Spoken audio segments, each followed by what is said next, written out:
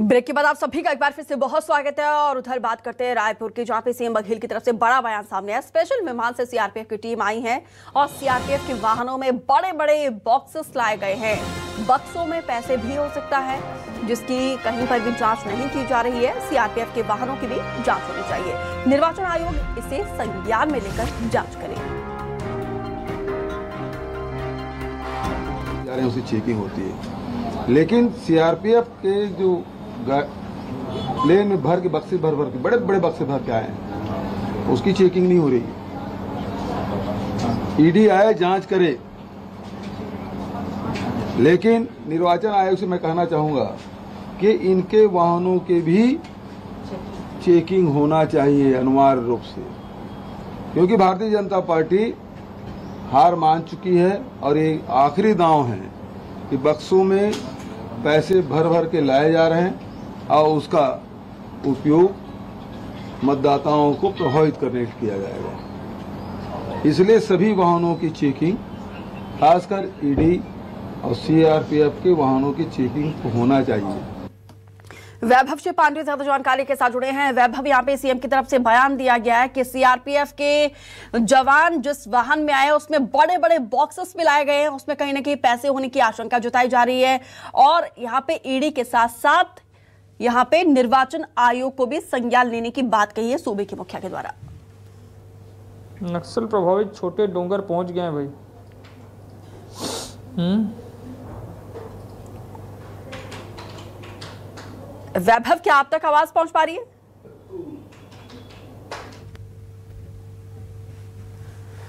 तो दोबारा हम संपर्क साधने की कोशिश करेंगे सहयोगी से लेकिन देखिए यहाँ पे सीधा ये बड़ा आरोप कहीं ना कहीं लगाया गया है बीजेपी के ऊपर। बीजेपी हार मान चुकी है, ये आखिरी दाव हो सकता है। सीआरपीएफ की ये वाहनों की चेकिंग होनी चाहिए, क्योंकि उसमें बड़े बड़े बॉक्सेस लाए गए हैं और इसकी जाँच नहीं हो रही है।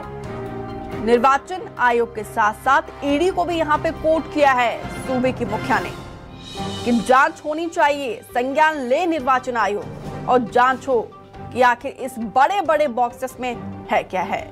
क्योंकि चुनाव को प्रभावित किया जा सकता है, ये आरोप लगाया गया है। वैभव श्री पांडे ज़्यादा जानकारी के साथ जुड़े हैं। वैभव, क्या आप तक आवाज़ पहुँच पा रही है मेरी? जी।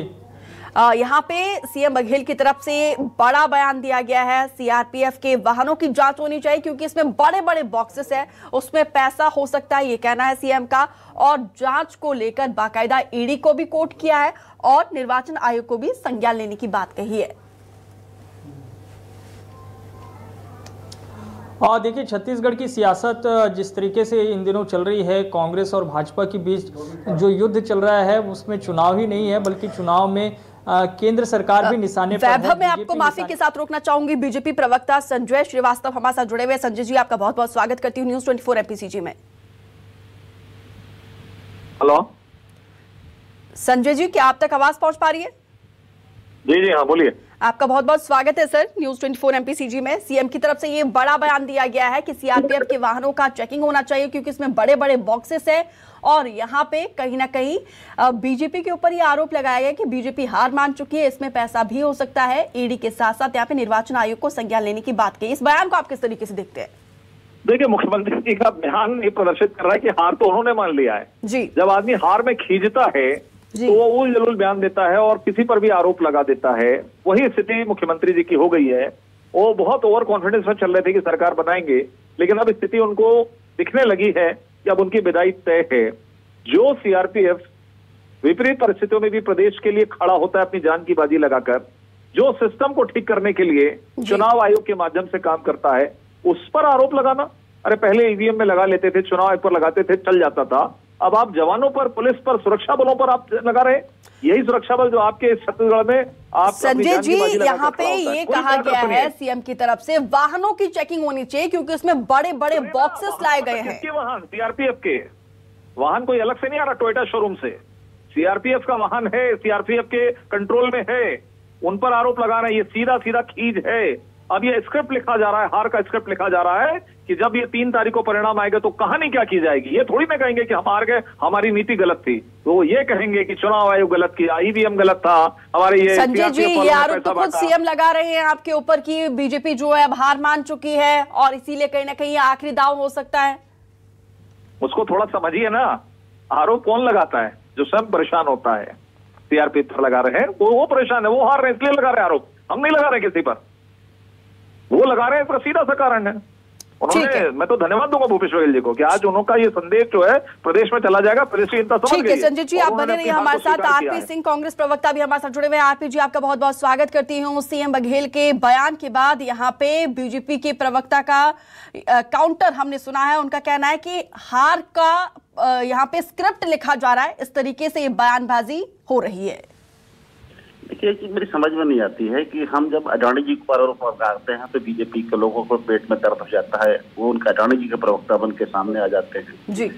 जब हम निर्वाचन आयोग से मांग करते हैं कि आप इसकी जाँच कीजिए कि सीआरपीएफ के बड़े बड़े जहाज़ आ रहे हैं उसमें क्या रख के आ रहा है तो बीजेपी के लोग सामने आ जाते हैं। हमने तो बीजेपी का आरोप लगाया नहीं है। इसका जवाब या तो निर्वाचन आयोग पे या सीआरपीएफ पे तो मेरे अंगने में तुम्हारे क्या काम है? आप क्यों कूद के आ रहे हैं?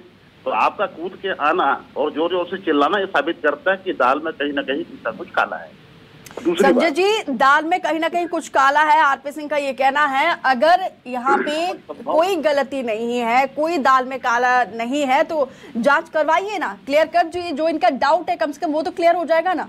भूपेश बघेल जी ने जो आरोप लगाया सीआरपीएफ पर जो सीआरपीएफ विभिन्न परिस्थितियों में भी इस प्रदेश की सुरक्षा के लिए खड़ा रहता है उन पर आरोप लगाकर ये इस बात को सिद्ध कर दिया है कि कांग्रेस अब निश्चित रूप से चुनाव हार और हारने के बाद क्या स्क्रिप्ट लिखा जाए तो इसकी तैयारी पहले से हो रही है कि क्या कहा जाएगा, मुझे लगता है उसकी तैयारी उसने प्राप्त कर दी है। और मैं धन्यवाद देता हूँ माननीय मुख्यमंत्री जी को अपनी हार स्वीकार करने के लिए। लेकिन कभी कभी तकलीफ़ होती है, सेना के जवान, सीआरपीएफ, जिस पर हमला करें उस पर आरोप लगाए। थोड़ा सा उससे बचने की आवश्यकता। आरपी सिंह जी विषम परिस्थितियों में सीआरपीएफ की भागीदारी सुनिश्चित होती है। इसमें कोई शक शुबा नहीं है। क्या आप लोगों की तरफ़ से कोई डाउट है सीआरपीएफ के ऊपर यहाँ पे उंगली उठाए जा रहे हैं? ये कहना है संजय श्रीवास्तव जी का। देखिए पहली बात तो संजय श्रीवास्तव जी पूरी भारतीय जनता पार्टी कान में तेल डाल के सुन ले ध्यान से। तमाम प्रयासों के बावजूद आप यहाँ पंद्रह सीट भी नहीं जीतने जा रहे हैं। जो आपने तेरह सीटें जीती थी वो आधी घट के छह सात होने वाली है। ये दिमाग से गलत हमें निकाल दीजिए कि आज यहाँ चुनाव जीतने वाले हैं। बात नंबर दो बार बार सेना के पीछे छुप जाना सीआरपीएफ की आड़ में छुप जाना तो ये शिखंडी जैसा जो आप लोग का चरित्र है इससे थोड़ा बचने की कोशिश कीजिए। लड़ाई हमेशा आमने सामने की लड़िए और सबसे महत्वपूर्ण बात मैं आपको बताता हूँ कि राज्य स्थापना के बाद से ये मैं पांचवा चुनाव से राज्य में होते हुए देख रहा हूँ। रमन सिंह के कार्यकाल में जब नक्सलवाद यहाँ पर एकदम चरम पर था तब भी सीआरपीएफ की यहाँ 150 से अधिक बटालियन नहीं आई थी। ये मैं पूरा विश्वास और दावे के साथ कहता हूँ कि पहली बार जब केंद्रीय गृह मंत्रालय ये मानता है कि यहाँ पर नक्सल की कमी आई बिल्कुल है यहाँ पे नक्सल तो बैक अरे फुट पर आ गया है लेकिन यहाँ पे सीआरपीएफ को लेकर अब सियासी पारा हाई हो गया फ़िलहाल आरपी सिंह जी संजय श्रीवास्तव जी आप दोनों का हमारे साथ जुड़ने के लिए बहुत बहुत शुक्रिया। अब देखिए यहाँ पे। चुनाव के लिए कम टाइम बचा हुआ सात तारीख को बस्तर संभाग में नक्सल प्रभावित इलाके में वोट कास्ट होना है और वैभव श्री पांडे लगातार हमारे साथ बने हुए वैभव जी, जो ये बयान दिया है, उसके बाद से कहीं ना कहीं सियासी पारा और ज़्यादा हाई हो गया है। आ, होना स्वाभाविक है क्योंकि छत्तीसगढ़ में कांग्रेस पार्टी को मुकाबला न सिर्फ़ बीजेपी से करना पड़ रहा है बल्कि ईडी से भी कांग्रेस पार्टी लड़ रही है और अब जो आरोप सीआरपीएफ की तरफ़ से कांग्रेस की तरफ़ से लगाए गए हैं वो भी बहुत गंभीर आरोप है। बिल्कुल।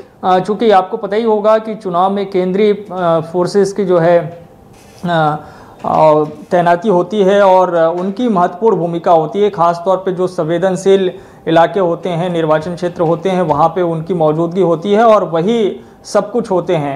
ऐसे में अगर उनको टारगेट किया जा रहा है कांग्रेस पार्टी से तो ये बहुत गंभीर आरोप है।